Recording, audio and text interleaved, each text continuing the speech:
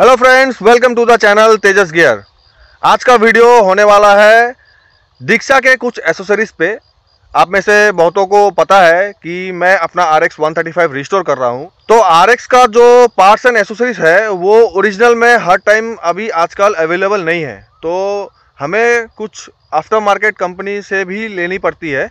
और after market company ऐसा नहीं है कि घटिया क्वालिटी ही बनाती है। आफ्टर मार्केट कुछ रेपुटेटेड कंपनी है, जो बहुत अच्छा क्वालिटी सप्लाई करती है। तो आज मैं आपको दीक्षा के कुछ एसेसरीज दिखाऊँगा। और एक इंपॉर्टेंट बात, कुछ डिटेल में अगर जानना हो तो आप मुझसे इंस्टाग्राम में पूछिए या फिर मेरे फेसबुक पेज पे पूछिए। तो चलिए वीडियो शुरू कर लेते हैं।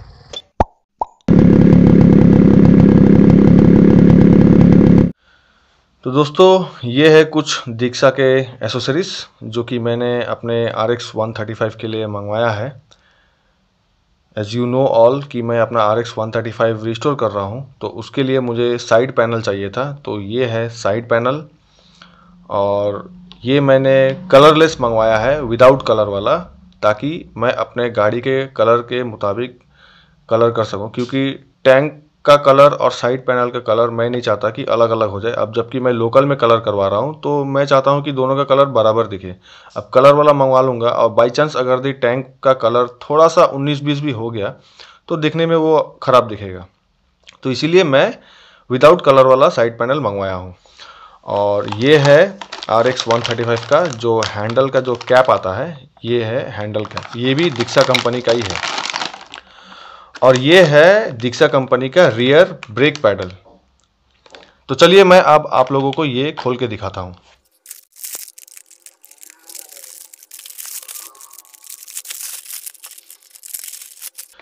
सबसे पहले मैं आप लोगों को साइड पैनल दिखाता हूँ। देखिए इसका क्वालिटी कैसा है।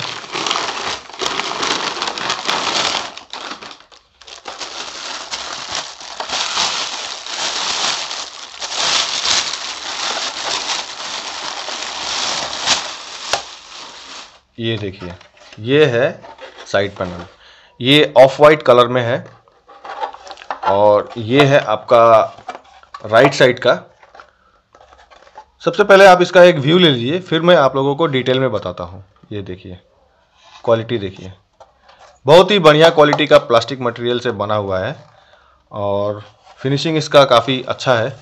वीडियो में कुछ खास पता नहीं चल रहा होगा, लेकिन मुझे समझ में आ रहा है क्योंकि मैं देख के बता पा रहा हूँ कि क्वालिटी एक्चुअली इसका बहुत ही अच्छा है। अब इसके ऊपर पेंट होगा। पेंट होने के बाद स्टिकर लगाया जाएगा। उसके बाद क्लियर कोट मारा जाएगा। उसके बाद इस पर वन थर्टी फाइव का लोगो लगाया जाएगा। यहाँ पे 135 का लोगो लगाया जाएगा और एक यहाँ पे लगता है, वो क्रोम का एक आता है साइड केसिंग टाइप का। तो यहाँ पे वो केसिंग लगेगा, जो क्रोम का होता है, वो भी प्लास्टिक का होता है। और ये छेद दिया गया है नीचे की ओर नट फिट करने के लिए। ये एक्चुअली ऐसे लगेगा, ऐसे करके। और ये बॉडी के ऊपर तरफ़ की ओर ये अटकेगा। इसमें कोई नट सिस्टम नहीं है, ये रबर में जाके अटक जाएगा और ये भी। तो ये हो गया हमारा राइट साइड का साइड पैनल अब मैं आपको लेफ़्ट साइड का साइड पैनल दिखाता हूँ।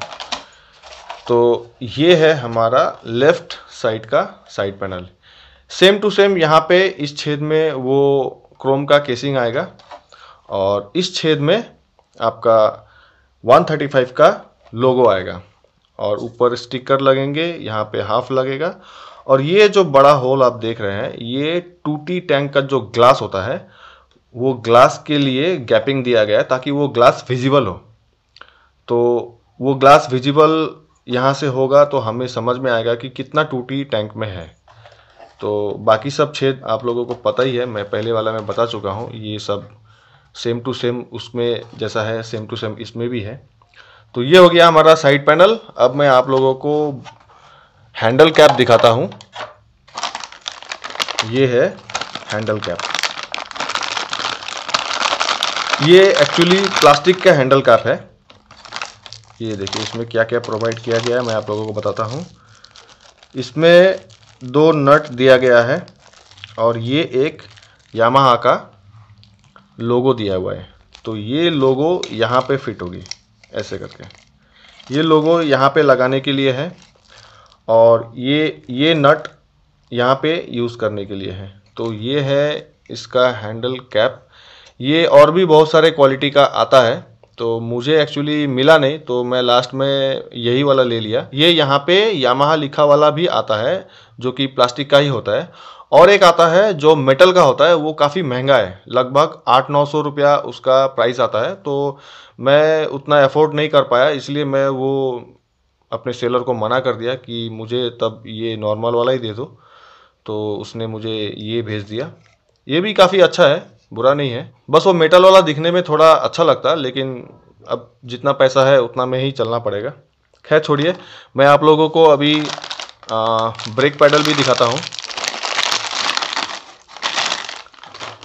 ये देखिए ये है हमारा रियर ब्रेक पैडल ये देखिए इसका क्वालिटी देखिए।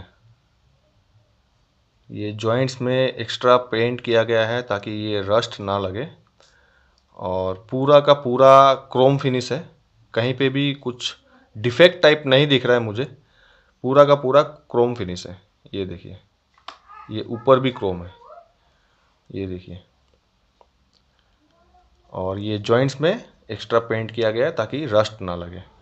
पूरा का पूरा क्रोम फिनिश है। बिल्कुल बहुत ही बेहतरीन क्वालिटी का क्रोम किया गया है।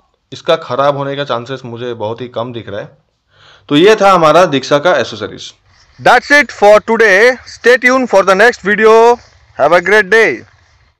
Like, subscribe and click the notification bell. Thanks for watching.